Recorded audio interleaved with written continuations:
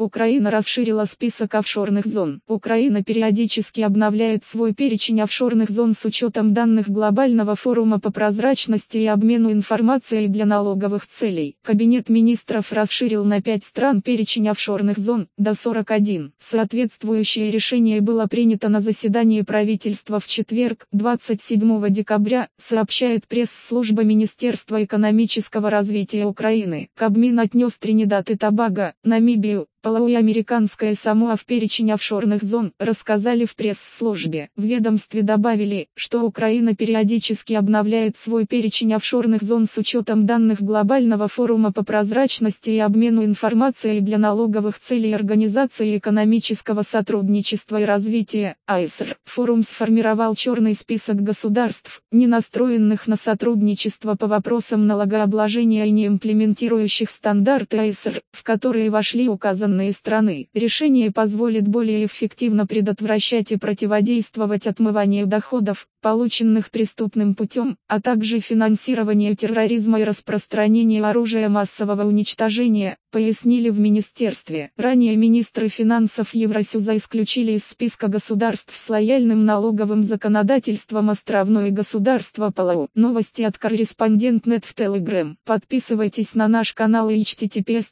correspondent.net по материалам сайта newsgra.com.